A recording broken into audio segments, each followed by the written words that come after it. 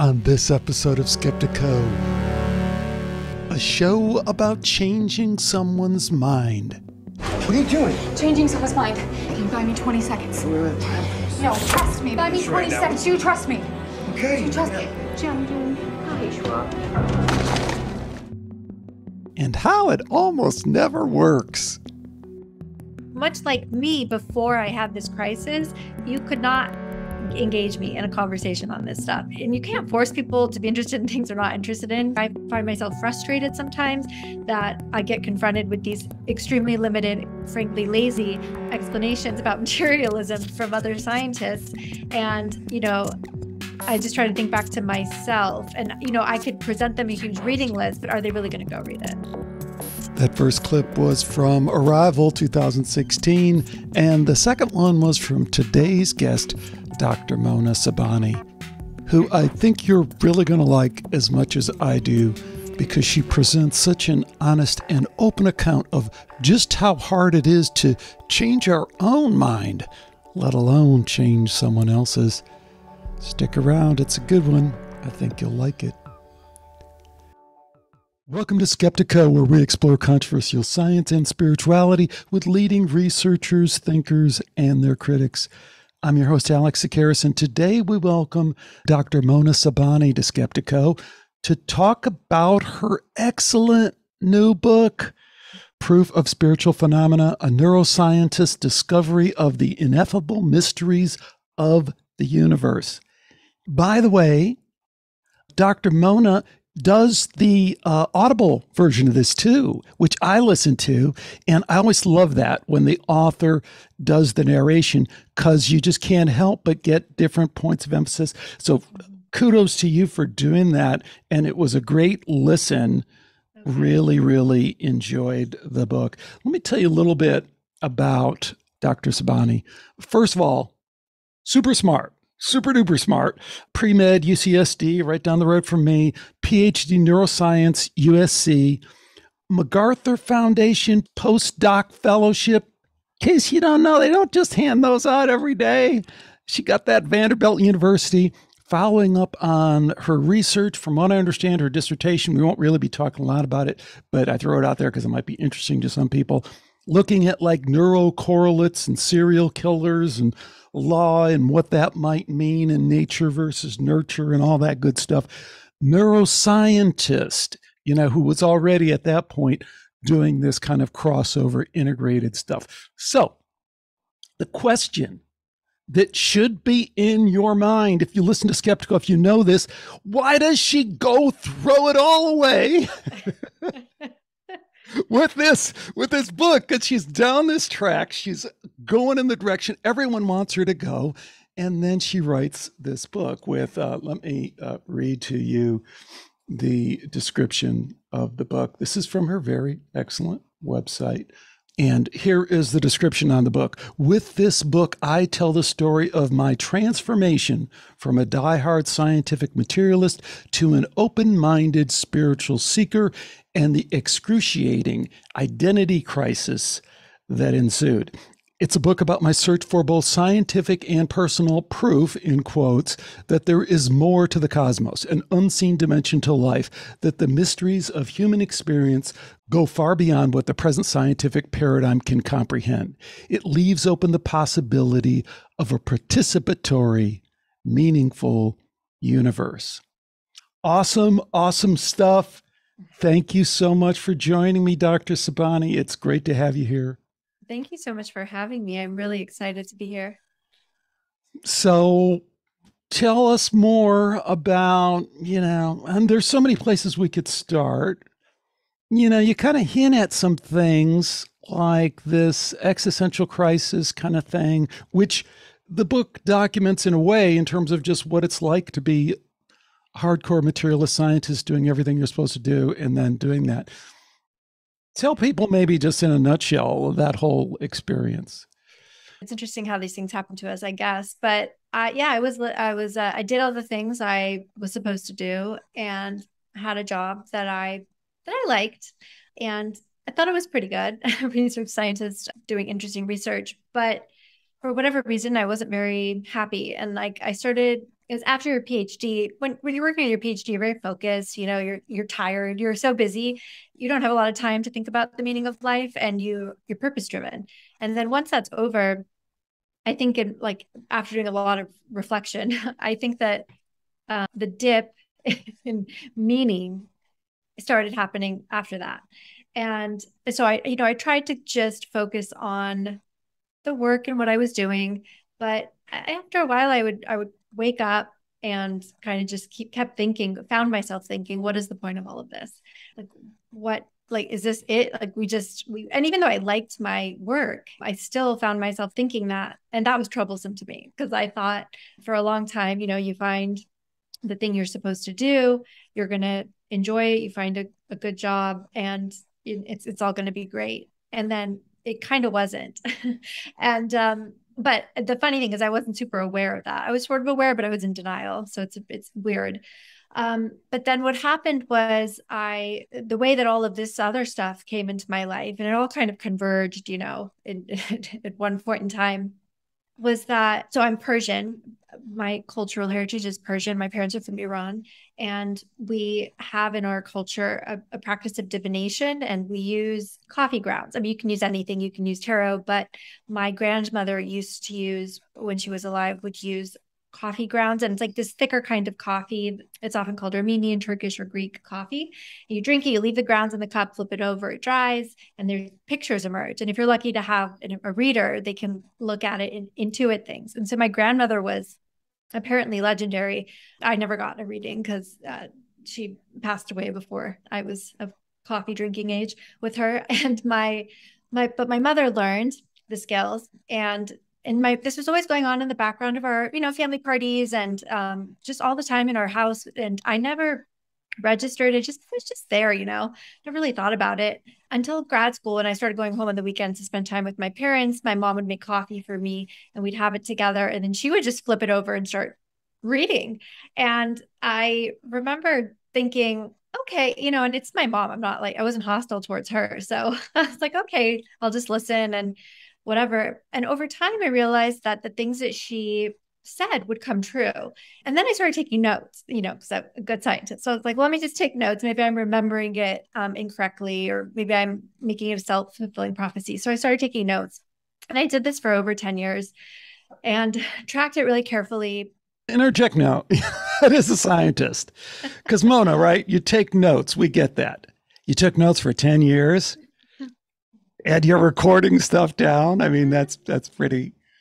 Yeah, I still have them. I still do it actually. I still write everything she says down.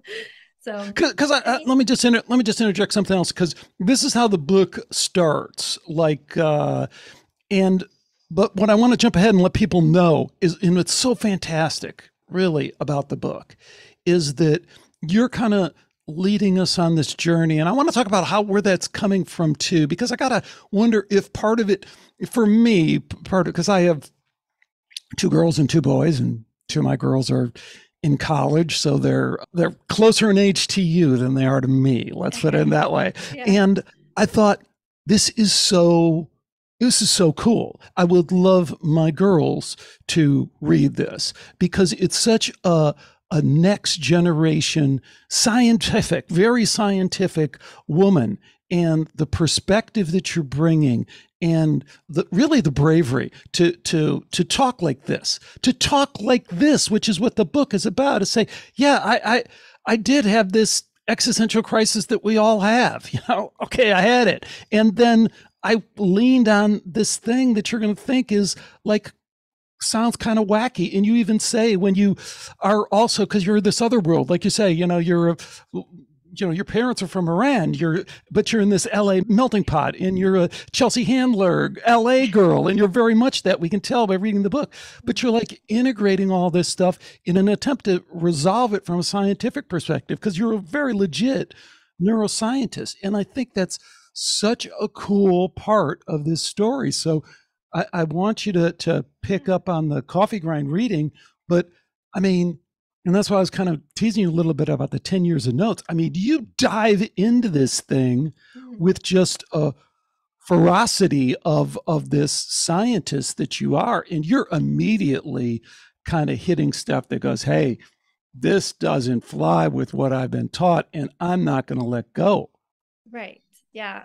And and that's what you can do. It's all I could do. And I think for a while I ignored it. Right. So it was like, oh, these readings, um, she's able to you know know things about the future and even she's even better at just the current situation like she could tell you th- about things going on in your life at the current situation with like incredible detail and i couldn't explain it with science they don't give you any framework to explain that um, you know it goes against our our concepts of time and how it moves forward so I remember initially at the beginning of grad school, I was kind of thinking about like, oh, how would this possibly work? And I remember reading quantum physics papers and stuff, but then grad school took off and I didn't have time for that anymore. So I um you know, I just did the best I could and lived in cognitive dissonance and kept them and kept them separate.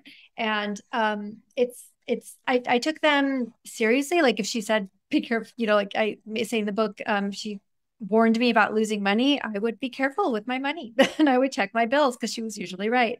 I couldn't really explain it, but but it worked. And I I kind of eh, I mean it was just a part of life, not a big deal, just a part of everything. And then I had two big emotional events happen that were related to the coffee. And then that was these were around the time of when I was kind you know, like not feeling great about or waking up thinking what was the meaning of all this and that was the tipping point for all this. So the first one was she kept seeing something in the cup that was for five, six weeks in advance. And my mom's always, you know, she actually, not that she avoids bad news from the cup, but she'll, she'll, you know, breeze over it quickly and just say, don't worry about it too much. I'm not always right, you know, whatever. But this one, she got very serious and she was like, you know, I wasn't going to tell you. She's like, but it keeps coming up. So I feel like I just need to warn you that you may be getting some bad news. And and then she wouldn't tell me what it was and it was it was frustrating. And then i lived like in terror for five weeks like what what's gonna what's gonna happen? What am i gonna find out? Um, and then i found out that one of our professors at usc that had helped me on one of my dissertation experiments was killed by one of the students in our program. And it was devas obviously devastating. But what creeped me out was that she had seen that. And i think the difference was that it was it was a death right? It was a life or death thing. Whereas all the things before that where you know like you might lose money you might i don't know you have a project at work or something. This one was death. And so for me it really shook me. And i couldn't understand how the information about someone's death could be available beforehand and what that meant you know? And i, I kept thinking was is there such thing as fate or destiny? I had never thought about that before. Um, but i was like but if the information was available ahead of time? Is it possible that it was meant to be? I don't know. Like I had all these kinds of thoughts, but I didn't have time. Again, I was busy. I didn't have time to think about it. And I was in grief for a while. And so I didn't do anything. And then, and then a couple years later, she saw this relationship coming into my life and um, looked like it was going to be positive and good and it, it, was it was fine it just but it ended and so i was like mom you were wrong. Like it wasn't positive. You know? I mean, now i can see why it was positive in the long run but um and so that that one though and i always i think of it now as like um i had like a stool like and the legs were just being knocked out and that was the last leg of the stool. That was it. I was like done. I was emotionally um like i just fell into a depression. Like I, I felt despair for the first time. I had no hope or optimism for the future. And I was just like, I just didn't want to exist anymore because I was like, I just don't understand why we have to do this. And so it was dark like that for a long time. And then, then I finally was like, um, what is it about these readings? Um, you know, I wanted to look at that part of my story and see okay, okay, um, what does it mean? And is there any truth in this, or did I make this? You know, did I create meaning? Was is neuroscience right? Did what they taught us about how we create meaning out of everything in our brains? Did I do this to myself? Um, and so then I started this um, this you know journey with initially started with my friends as a fun just for ourselves they were like we know this really good psychic she'll turn you away if she can't read your energy like if you want to try someone try someone else we'll take you. So we started doing that. Um, we would go together we'd switch notes to see if it was tr- true or not because i never actually had readings from anyone else it was just my mom. Um, so we did that for a while and we realized you know this is like in, in me as a scientist i and i remember they would say things that would be from my past, from my childhood, um, with specific, you know, um, uh, like seven variables correct from this, you know, obscure thing from my childhood. And I would be sitting there like, man, like this is this is hard to brush off. and I know we're supposed to, like, even as a scientist, I was trying to be skeptical because I don't know these people, I'm paying them. So it's different. It's different relationship than with my mom. And I'm like, but I just don't see how that could be guesswork. Like it's not vague, you know, people always, oh my God, I've spent so much time hearing all the criticisms and psychic readings obviously are not the best forum for to prove something scientifically but so it was just for fun it was just for us. Maybe um, maybe not. I mean because as you take us on the journey in the book you know there's a lot to be said for mediumistic readings. And then you know just let me interject something else because again, you tell this story in an awesome way, and I think it's very relatable. But I want people to know that you then dr- you go as a scientist all the way. So, like, you find your way to Dr. Julie Beischel's door at the Windbridge Institute. and You go, okay, quintuple blind. Uh, controlled after death communication by a PhD in pharmacology who knows how to run that and she comes up with four sigma or whatever result that right. blows the doors off so it's it's you're constantly bouncing back and forth between like you're saying hey can i trust this reading and mm-hmm. oh by the way there's, there's this evidence. there's this evidence and again as you point out in the book folks i want you to understand you will get a lot out of this book if you're very science minded it's great yeah yeah and i um so yeah it started like that for fun and then later i i did end up digging deep into the to the scientific literature, which I didn't think existed. Otherwise, I would have looked at that first, but I just didn't even think that existed. I was like, there's no way no one has studied this because it's so outside of our purview. Like we don't learn about that. And so I never bothered to look. But um, so I did that with my, yeah, I did that with my friends for a while. And I was, should I tell my Chelsea Handler story? yes, yes. You're yeah. just you're just like so many of the rest of us. You know what I mean? Yeah. yeah. Please. Yeah. So so we were going to these readings and we are you know, it was very casual, uh, like not forefront of my mind, but I, I wasn't listening to anything spiritual at the time. And in the readings, they they would say things to me like, "This is um uh, a, like someone from your soul group, or this is a karmic thing, a past life thing. And I didn't believe in any of that. First of all, I didn't even know what they were saying half the time. I was like, I would just write it down, but I didn't know what soul group or anything meant. And I would, and then I would just brush it off because I was like, I don't believe in that. So whatever. Um, but I had heard it. And so it kind of had planted a seed in my head. And so I wasn't listening to anything spiritual, um, but I listened to, I read Chelsea Handler's book, Life Will Be the Death of Me. And then she had a podcast, like a limited series podcast with a few episodes. Most of it was about uh, the Enneagram and personality and therapy and stuff. And then she had an, one episode with Laura Lynne Jackson on, who's a psychic medium. And I remember, and Chelsea um, was a skeptic. And so I was like, what is this? Chelsea, Laura Lynne Jackson, why she have a psychic medium on her podcast?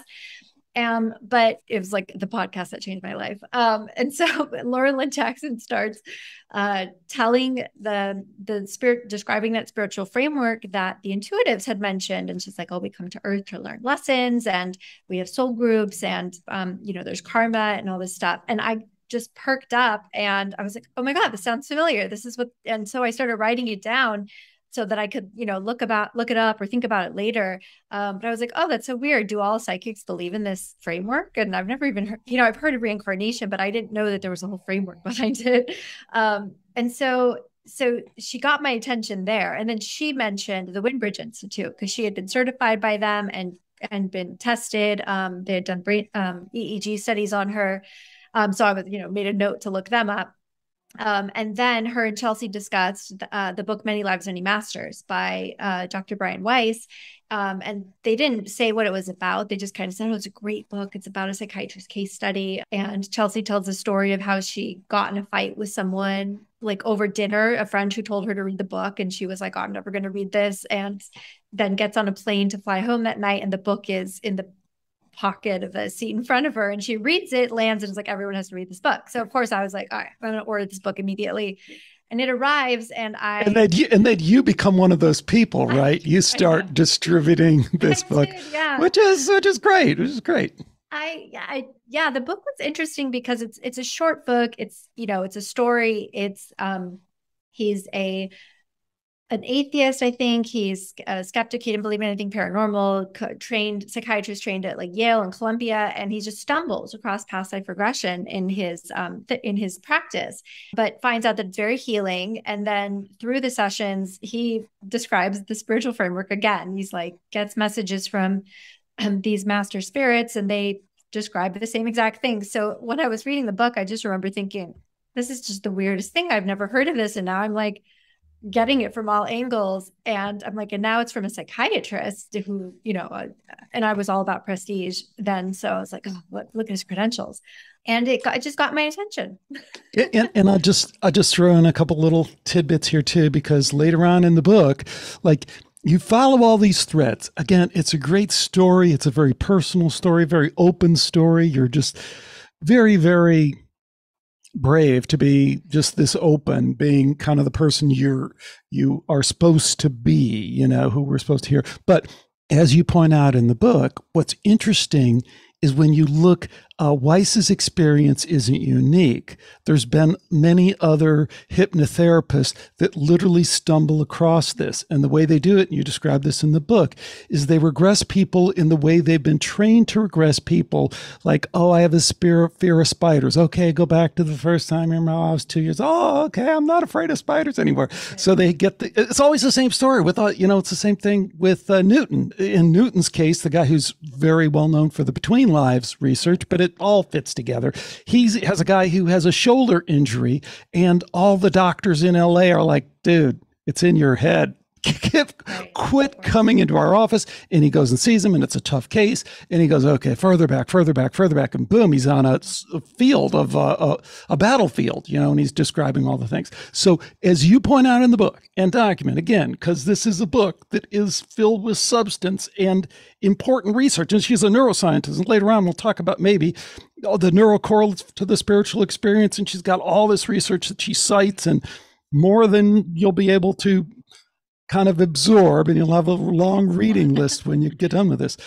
But the point being, just like this small example, she doesn't leave it there. She goes and says, okay, isn't it interesting that these independent hypnotherapists who are just following a pretty well known, well, you know, ordained, I mean, they get paid, the insurance company pays them for it, and they stumble into this past life thing. Isn't that interesting? So I'm yeah. sorry, pick up your story. Yeah and and i found that really really fascinating because from a purely yeah, like even neuroscience mental health perspective because i'm i did i went and read not just all of his books but michael newton roger woolger um, some dolores cannon a lot of the past life regression therapists because and then i you know i tried to read other um, psychology books too to see but of course they just don't even touch it. But they but yeah, and I just thought it was so odd. I'm like, so if you put somebody in a regressed state and ask them to, to, describe spiritual framework, that's the one they usually describe. Enough so that like these these practitioners have had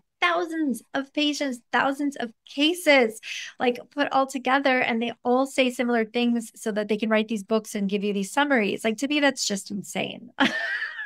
still, I still think it's so interesting because as a phenomenon it's like what where is this coming from? It's not even a you know western culture. It's not even i didn't even know what it was. It's not a popular it, it's more popular now i think but um, a lot of these practitioners were from the 70s the 80s you know no internet. And so i just really couldn't get i couldn't get over that. And i just kept wondering i just like as i say in the book i just kept thinking about you know is it some like uh, you know biological thing but but but I don't know. Like I just kept coming back to maybe it's spiritual. like it was really hard for me, but I just kept like it just kept coming up in my head like well maybe well maybe you know like i don't know maybe you should open your mind but so then that's when i really was like let me just keep reading and then i was like let me reach out to the windbridge institute and talk to them because you know um, as you mentioned julie Beischel has a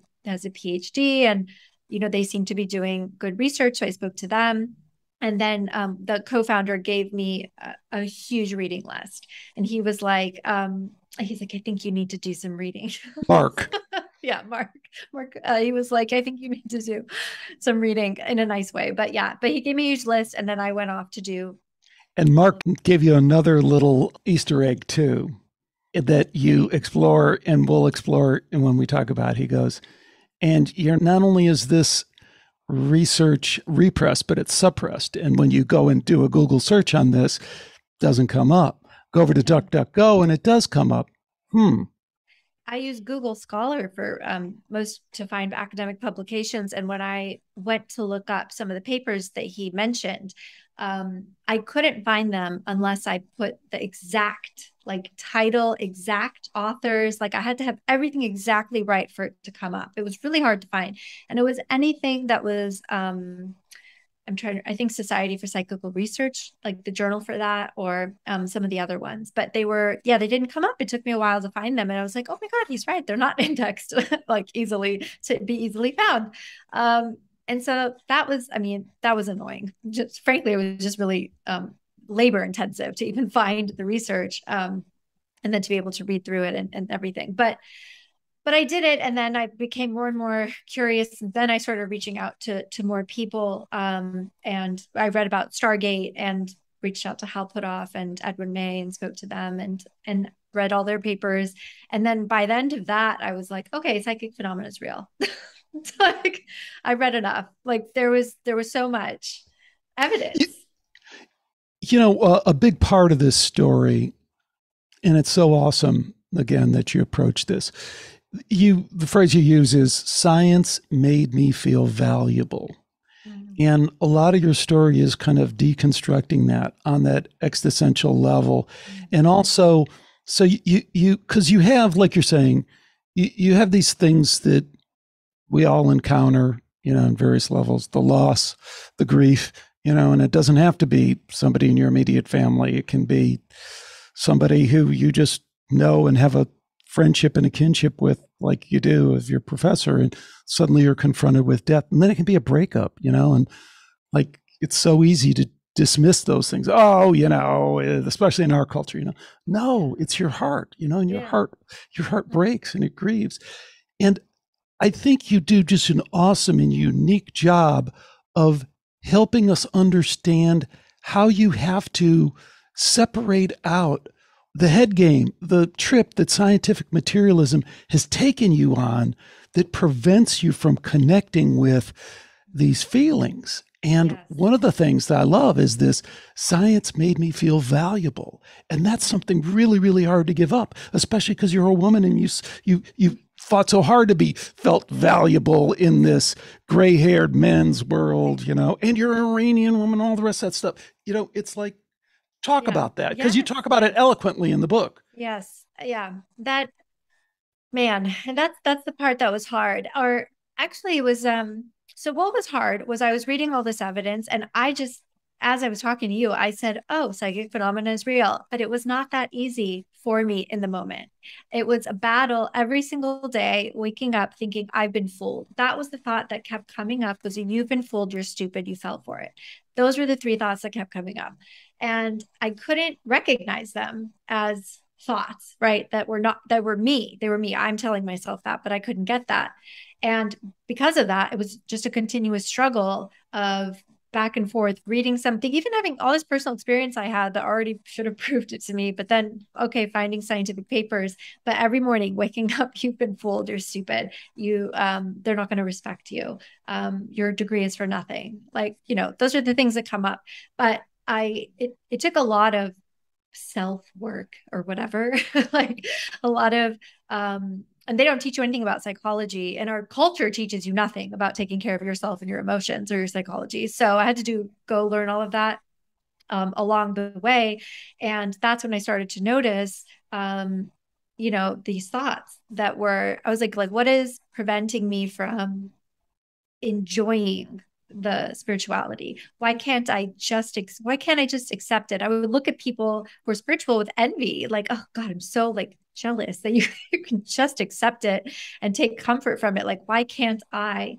And actually i wish i could say that i came to it on my own. I did notice the thoughts but it was actually this um person that i spoke to who he's a he was a therapist and then he his um, psychic ability opened up like midlife. So he abandoned being a therapist to be a psychic, um, but he's still trained in it. So I was, I knew him through a friend and he told me, I told him, I was like, can you just tell me what my problem is? I don't care. I don't want to psycho, I don't want to come to it on my own. I just tell me what it is.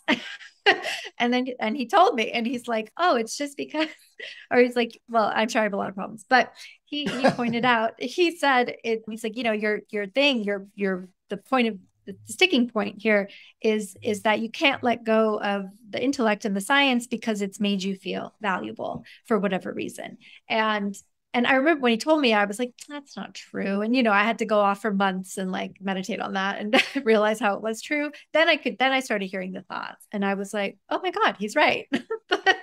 but he, you know, he pointed out to me and I thought, oh my goodness, this is so true. Like you want to be accepted too. Like you, like you said, you, it's, and it's really hard as a woman in science. Like you're always worried about what you're wearing, how much makeup you're wearing, how you sound, no one is taking you seriously, sexual harassment left and right. like it's real as it is in many fields.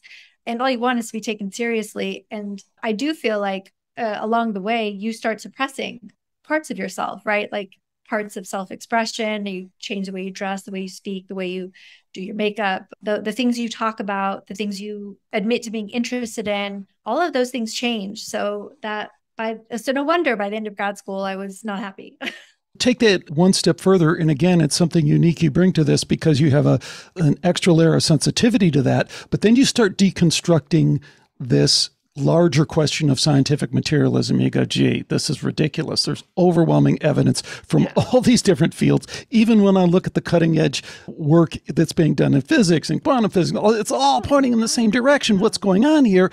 And then you are equipped to look at scientists who you talk to. So you let's say that. This book then leads you to interviewing many leading thinkers, scientists, and their ideas and thoughts work their way into the book but you're then trying to understand and you do understand why they can't do it because they're doing they're doing the same game you're doing and i that's how i took it and you can We're see it can, yeah scared. scared yeah and yeah we're just all scared and um and, and what are they scared of specifically? Because like you like you say you know you feel good about being smart and being this smart scientific woman and then you find that they're scared about the same thing. And they're also scared about you know what will their colleagues say in the cafeteria if they find out that they wrote an article or even made a blog post or you know or what will happen to my funding? And you know can i really do that inside of an environment where we all know what the head of the department thinks you know?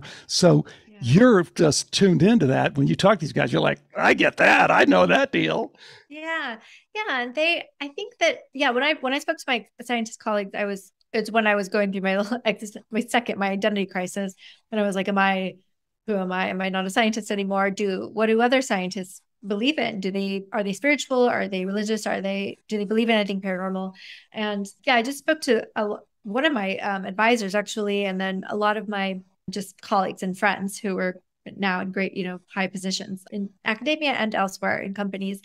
And all of them were actually, and the, and the truth is, like any scientist, and that's what I say in the book, like in confidentially, they'll tell you, like, we know the limits of science we can't possibly know everything with science. We can't use the scientific method for everything. And also we're limited by time, right? Like we we just haven't figured a lot of stuff out yet.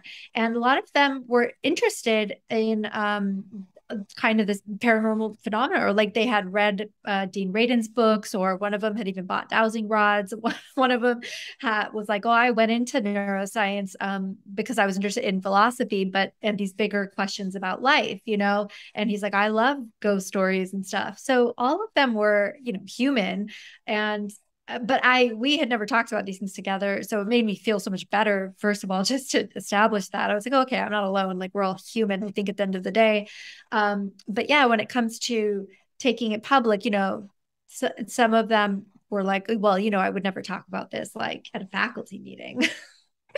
There's also a deeper level of denial that I think you you get to because you're so open in truly just digging through this stuff personally that comes through in the book. And in a way, I think you kind of let them off the hook a little too easily, Mona, because they kind of give some explanations that don't just don't stand up to scrutiny and the kind of scrutiny that you do in the in the book, and you just kind of give them a pass, like we do, people, and you you got to give people a little bit of a pass.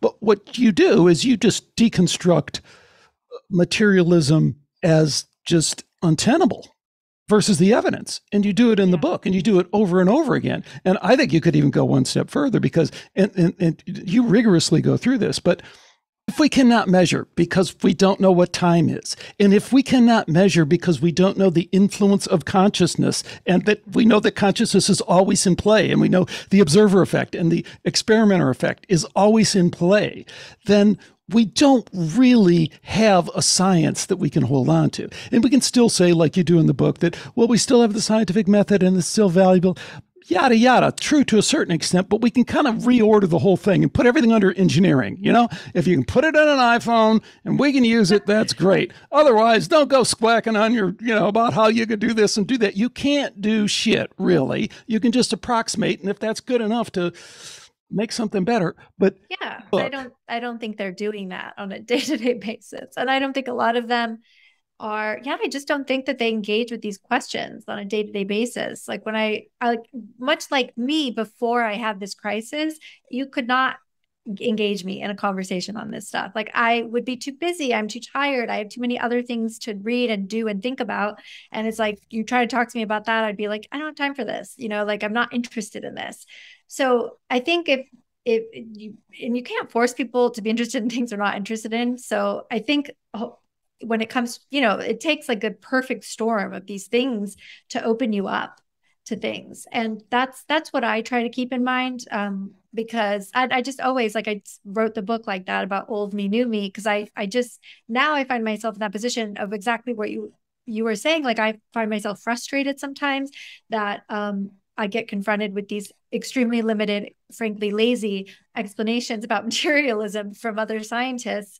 And, you know, I just try to think back to myself and, you know, I could present them a huge reading list, but are they really going to go read it? Like they're not, they're busy. Um, and they're just going to li- fall back on their lazy arguments and I'm going to go on my way. But, you know, until it comes a day when they need need it or something happens to them as jeff kripal writes in his excellent book the flip when something happens and their worldview is flipped and then they'll come calling very interesting because you know both through Skeptiko oh, and i've been at this for a long time but it took me a long time to realize this you know your book is as much an exercise in why people believe weird things as it is anything else. And it's about belief systems and worldviews and how those change. And essentially and importantly, how you can go about being the uh, master of that process as you are because that's what you do. You take on that that job. So any thoughts on number one kind of looking out and it's brutal but it's true you know why do people get stuck in these belief system ruts that don't serve them? And in particular now we're talking about the scientific materialistic worldviews that don't serve them. And then number two how do you how do you re-engineer that how do you how do you go through that process second one's hard uh, the, the first one is yeah i think that I I think, and you know, I'm not, I don't know if I if I know enough. This is just my been my experience. It does come back to our needs as people. And I feel like things serve you as long as they fill some need that you have. Like for me, I needed to feel valuable. Science filled that need. So for a while, that worked for me. And then it didn't anymore. And I think that I think that that's for whatever reason, you know, people are born into belief systems or whatever, whatever, however they land on their belief systems, it's various paths for different people.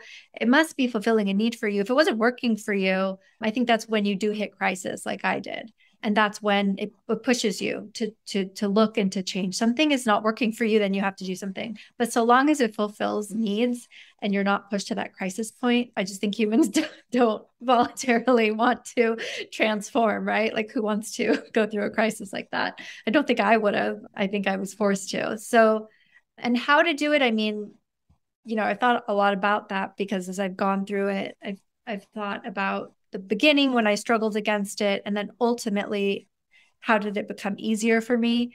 And it really was just letting go, and which sounds easy, but is not at all easy. But like letting go and surrendering, and and then continuously asking myself, but what if you're wrong? And um, and stay radically curious because I think also once I finally was like, okay, you know what? I don't know what the re- I don't know what reality is. I don't know what the universe is. All I know is materialism is not it and or is not working for me and it doesn't explain a lot of my experiences and other people's experiences. But I, you know, not ready to commit to another one now because I'm like, I, I thought I was so right. Oh man, I thought I was it. I thought I had it. and I was so, you know, wrong or but it ended up flipping. So now I'm careful and try not to cling and try to stay open minded. And just, I, I, think of it like data sets now. I think of all of us as having limited data sets or like an Excel sheet. And I think of it as like I had an Excel sheet of my worldview and it was locked. And I was like, no more information, please. I am good. I have the correct worldview. And then, of course, I opened up, added data to it. And now I'm always thinking, I never want to lock the sheet again. I just want to keep adding data and that's how I think of it when I relate to other people too, that they have different data sets. Like so if I'm referring to something that they don't have in their data set, they're just not going to get it. Again, I have to wonder if you're being overly generous there. But because in the book, you kind of do reveal some of the secret sauce. I mean, you become a meditator and you actively do that. Oh, you jump into these experiences. You do past life regression. Oh, you yes. do. You do, and you continue to get you continue to get readings. You even are open about having an LSD experience, you know, hallucinogenic yeah. experience. Which I got to tell you, you know, at this point, so many people have, but very, very few people write about it and say, "Yep, this happened, and here's how I integrated it in," and all the rest of that. So, yeah. I, I'm curious about if I can really kind of jump that to the end, mm-hmm. is what do you think about kind of this right action, non dualism? You said Ram Dass is one of your yeah. spiritual guideposts. you know, have you read much of Neem Karoli Baba? And, you know, I mean, and some of all Ram Dass's stories yeah. are with mm-hmm. Neem Karoli Baba. Yeah. So are you down the non dual right action? Oh, yeah, definitely. okay, so yes, and I so for me it was a lot of um I mean, and I wish this for the world. I do wish I wish like I wish our society focused more on self-actualization and like psychology just like what do you know what do we need to express ourselves to be happy because i feel like um, a lot of that is what led me to this i don't know despair point. But yeah, I got curious about consciousness. I got curious about spirituality. And I found that these altered states of consciousness, whether it's hypnotic regression or psychedelics or breath work or meditation, um, they really help you get out of your everyday head and out of these social constructs, these things, these I should be doing this, I'm supposed to be this, this is my identity. They get you out of that space and I actually now think of them too as these points where the spiritual, the paranormal, and personal healing all converge. Because in those experiences, you can have all of them, right? Like I can see the future, I can see a past life. Um, I can, it can, you know, heal me in some way if it's a past life regression or whatever. Or with LSD, I had an insight. Um, you know, I asked a person a question, a personal development question. I think it was, uh, "What's my biggest problem right now?" And got a very very very clear answer like a whole like not just a cognitive like it was a i felt that it was like you don't let yourself be you. Like you you you know you trying to project smartness. You're trying to project who you think everyone thinks you're supposed to be. But you've forgotten like and i saw like images from my childhood and you know like oh you forgot this girl you forgot this person. And so i feel like these i mean if i had yeah one wish is that everybody would embrace these altered states or just go get yeah readings. Like i invite scientists in the book to go get a reading. I mean like what's the big deal? You know it's like 30 minutes. Maybe they'll impress you maybe they won't. But to touch the mystical and the spiritual because I just truly think it's very healing and enlightening. And it really just help open your mind to other experiences. And most of the population uh, believes in this stuff and um, engages with it in some way. And so it could help put, you know, at least for scientists, like put us on even footing a, a little more anyway. Okay. Uh, the Skeptiko portion of the interview begins now. so you mentioned uh, Russell Targ, Hal Puthoff SRI stuff. We mm-hmm. covered that a lot on this show. Mm-hmm. They're MK Ultra guys, right?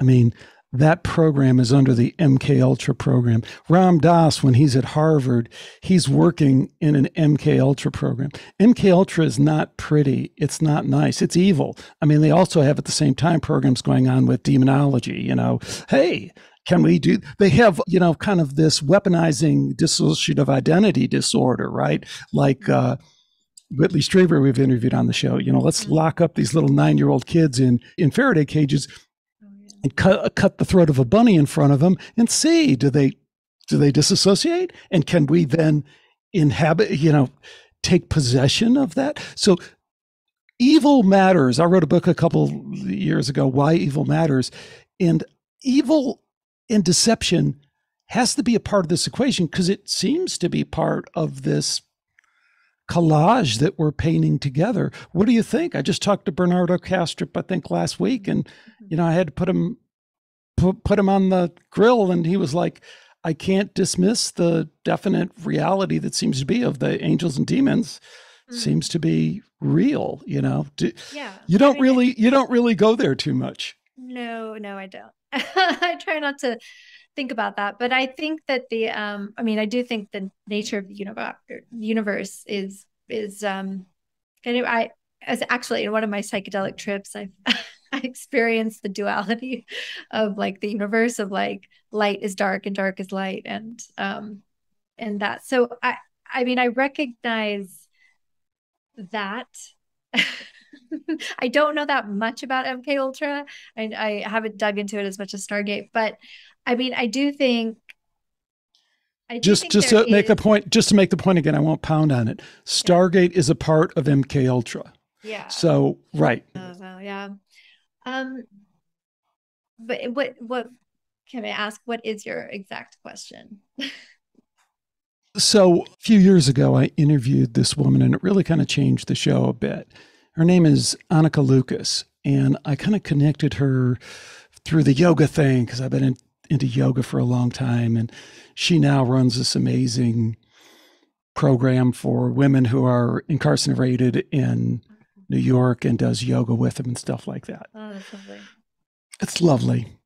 Anneke was sold into a satanic ritual cult in Belgium connected to the Dutroux cult that was you know, exposed in the newspapers and had all these high ranking officials.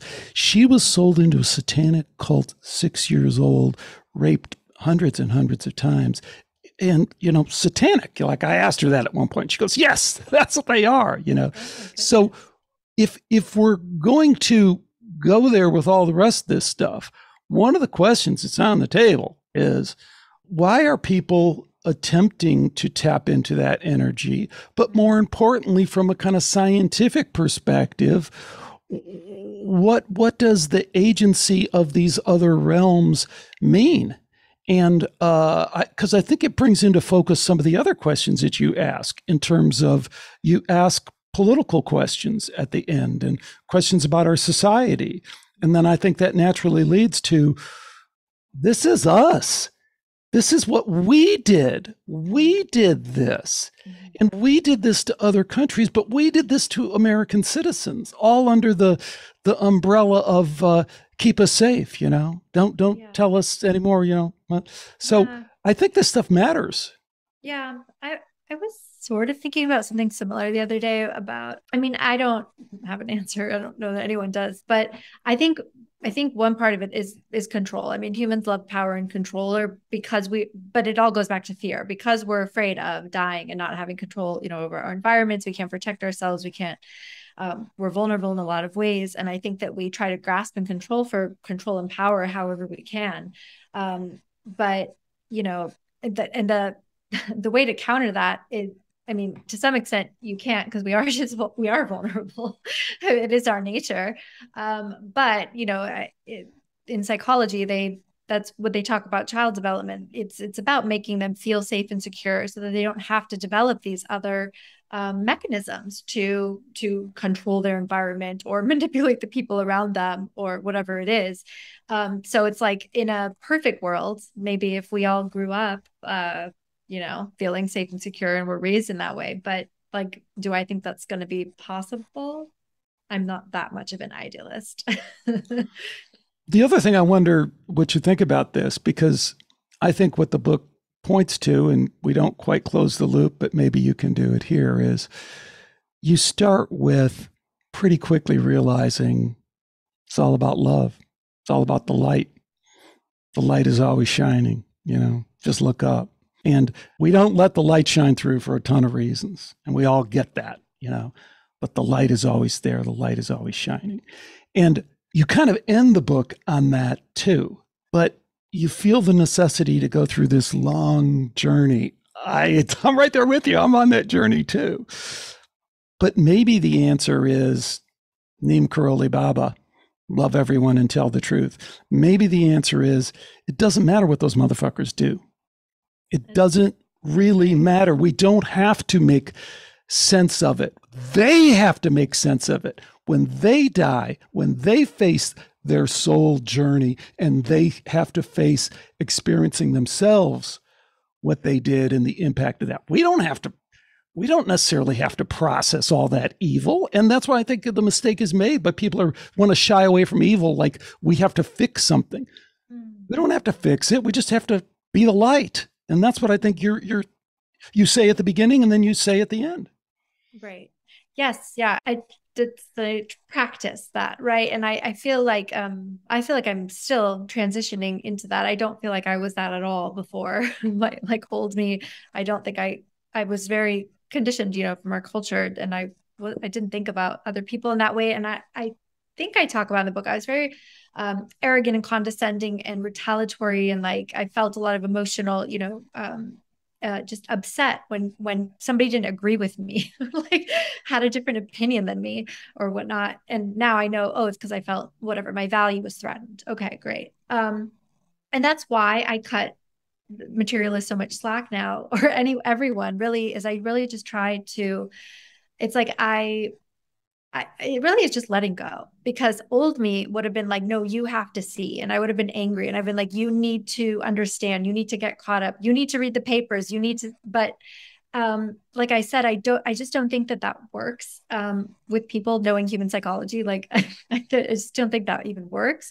And I think really the better way is to let go, surrender, and to live. And like you said, shine your light. And when they see you living well, they and then if you know they're not they might ask themselves um, what's the difference here? What could i what could i do differently?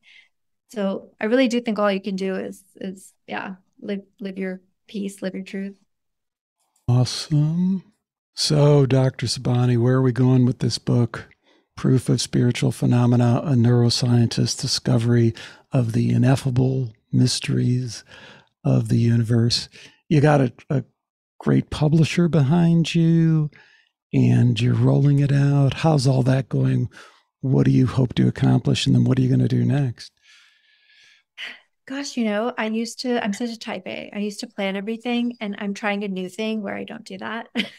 so I'm kind of just taking it day by day. And um, I mean, I started uh, thinking about and like doing research for a second book, but um, I don't know, I'm just enjoying this one. And uh, I'm still exploring a lot of different altered states and um, healing modalities. So I'm still on that journey. Um, uh, oh, oh, I guess I can mention this. I haven't picked a date yet, but I am. There's two things. One is um, a collaborator and I are going to the Society for Neuroscience conference, and we're having a sat, which is like the biggest conference in neuroscience. Um, we have a little satellite event for science and spirituality, but It's really for any scientist who's ever experienced anything that they couldn't explain um, to come join us. And so that's one thing. And then next year, we're going to plan a retreat where I want to, you know, in the book, I invite scientists to come engage the mystical. Um, and so we want to um, organize a retreat where we where we allow that to happen like a one day we haven't figured out the details yet. There might be a one day one in la and another one in a retreat center but where they can come and we can we'll ha- we can get readings we can present um, the evidence from the psychic research in like a really succinct format uh, where we can talk about the scientific paradigm and experimental uh, formats like different ones going forward like if you know materialism isn't the whole story um, so yeah, so those are some of the things I'm I'm working on and thinking about. Excellent. That's great stuff. Great stuff. Congratulations again on the book. It's fantastic. Really encourage everyone to check it out. If you can, do the Audible. It's it's great. It's great listen. So thank you. Thank you so much for joining me today. Thank you so much for having me. It was a pleasure. Thanks again to Dr. Sobhani for joining me today on Skeptiko. The one question I tee up from this interview, and it kind of relates to some of the recent episodes of Skeptiko, is what does it take to change your mind? And what does it take, in your experience, to change someone else's mind? Let me know your thoughts. Love to hear from you, especially if you have that next level level, especially if you have that level three sensibility in talking about these topics. I'd love for you to join me on the Skeptiko Forum or track me down otherwise. That's going to do it for today. Until next time, take care and bye for now.